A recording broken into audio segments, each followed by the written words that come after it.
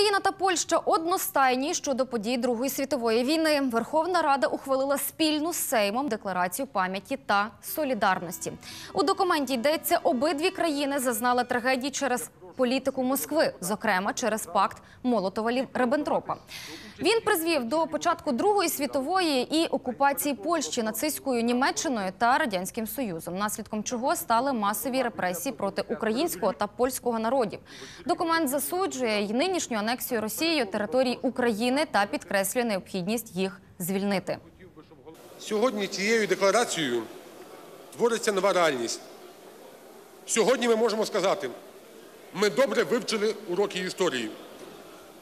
Уроки, які були трагічні для нашої спільної історії, українців і поляків. Сьогодні перед нами знову ті ж самі виклики і той самий ворог.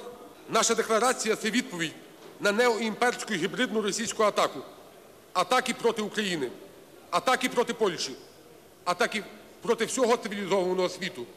Раніше передбачали, що парламент Литви Сеймас також проголосує за декларацію, одначе повноваження чинного Сеймасу вже скінчилися.